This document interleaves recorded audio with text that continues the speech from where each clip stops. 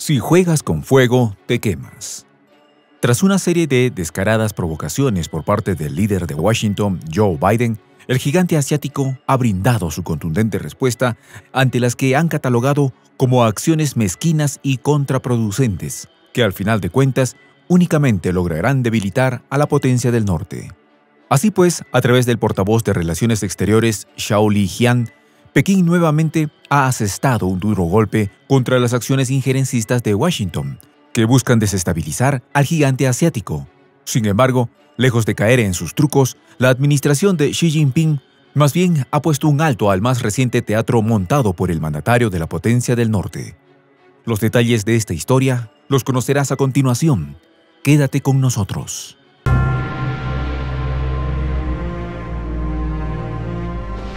Voz de la Patria Grande. La injerencia y provocaciones de la potencia del norte parecen de nunca acabar. Y en esta ocasión, Pekín parece haber sido el nuevo blanco de Joe Biden para llevar a cabo sus acciones de provocación a través del Departamento de Estado de Washington. Así pues, la administración Biden realizó un cambio significativo en la redacción del sitio web de este departamento, donde a pesar que Washington asegure que no refleja un cambio en su política, claramente se opone al principio reiterado por el gigante asiático. De esta manera, el Departamento de Estado de la Casa Blanca eliminó la redacción sobre no respaldar la independencia de Taiwán, además de suprimir el reconocimiento de la posición de Pekín con respecto a una sola nación.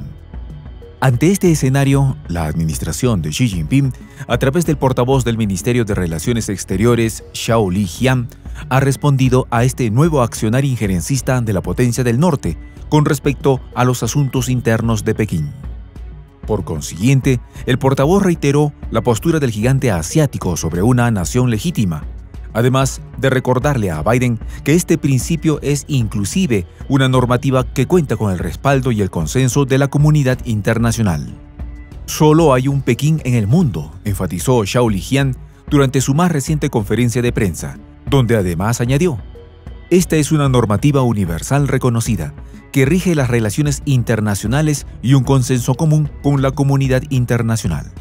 Razón por la cual Li Jian instó a la potencia del norte a apegarse a las verdades documentadas a través de la historia, destacando la importancia de no hacer caso omiso a verdades innegables únicamente para favorecer intereses externos opuestos a la realidad. La historia no admite falsificaciones, los hechos no pueden negarse, y tanto el bien como el mal no deben distorsionarse.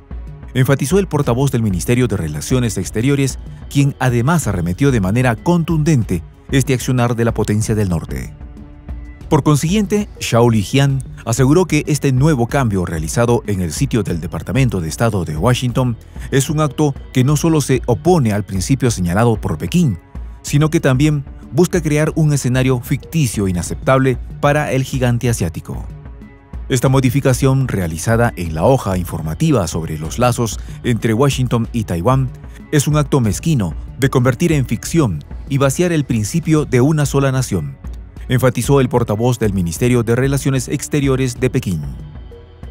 Bajo este contexto, Xiao Lijian, de igual manera, arremetió contra esta forma de política ejecutada por la administración Biden, enfatizando que su accionar únicamente conseguirá generar más problemas a la Casa Blanca.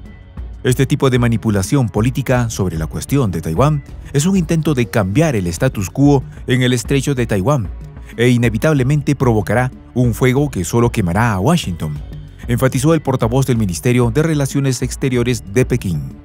Ahora bien, cabe destacar que este no es el único cambio significativo realizado por la potencia del norte con respecto a este escenario, ya que además la administración Biden llevó a cabo la inclusión de algunos puntos destacables. De esta manera, el Departamento de Estado de Washington también incluyó una sección de las seis garantías las cuales hacen referencia a las seis garantías en materia de seguridad correspondientes a la era Reagan que fueron otorgadas a Taipei en el año 1982. En esta misma línea no está de más señalar que además que estas fueron desclasificadas por la potencia del norte en 2020, también figura que entre estas garantías no figura un alto a la venta de armamentos militares a Taiwán. Pero eso no es todo ya que además de ello, es importante destacar que tampoco se acordó una consulta previa con Pekín sobre este punto, sin mencionar que la revisión de la ley de relaciones con Taiwán tampoco fue agendada. Bajo este contexto, el portavoz del Departamento de Estado, Ned Price, aseguró que únicamente han realizado una actualización regular en su hoja informativa e instaron a Pekín a no incrementar la presión sobre Taiwán con sus declaraciones. Hacemos un llamado a Pekín para que se comporte de manera responsable y no fabrique pretextos para aumentar la presión sobre Taiwán, expresó el portavoz Ned Price con respecto a la postura del gigante asiático sobre el accionar de Washington. Sin embargo, contrario a las declaraciones de Price, el periódico New York Times reveló un informe donde funcionarios y exfuncionarios de la Casa Blanca y Taiwán aseguraron que Joe Biden estaría presionando a la isla para que solicite armamentos para repeler la segunda supuesta invasión marítima por parte de Pekín a Taipei. Asimismo, señalaron que la presidenta de Taiwán, Tsai Ing-wen, tendría en consideración planes de llevar a cabo la adquisición de armas letales móviles para las Fuerzas Armadas de la isla, sin embargo, es bloqueada por la negativa de algunos funcionarios de la isla. No obstante, cabe destacar que este no es el foco principal, ya que, según informes, la potencia del norte ya tendría decidido qué armamentos deben ser encargados por Taiwán a la Casa Blanca para hacer frente a las fuerzas militares del gigante asiático razón por la cual funcionarios de Washington advirtieron a sus homólogos de Taipei sobre las solicitudes que serían rechazadas por la potencia del norte con respecto a la adquisición de nuevos armamentos, sin mencionar la participación de asistentes del Congreso en estas discusiones. Bajo este escenario, únicamente queda en evidencia el verdadero accionar de la Casa Blanca en esta región, pero que a pesar de sus intentos injerencistas, no solo ha sido expuesto ante la comunidad internacional, sino que también ha sido fuertemente cuestionado por el gigante asiático. De esta manera, y en base a evidencias expuestas inclusive por funcionarios de Washington, Pekín ha puesto un nuevo alto para la incesante injerencia de Joe Biden, sino que también ha dejado sin palabras al gobierno actual de la potencia del norte.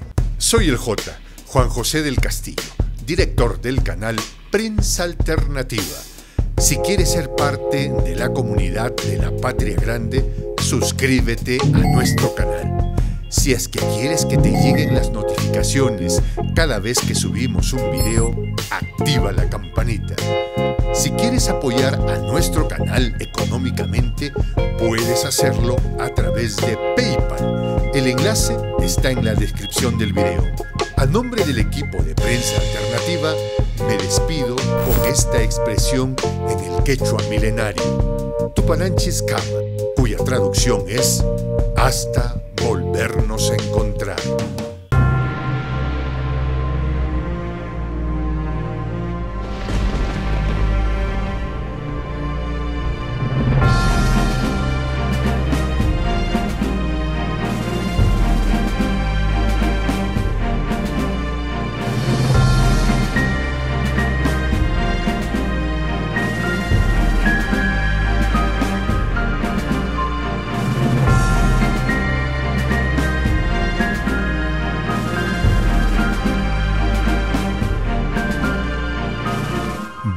De la patria grande.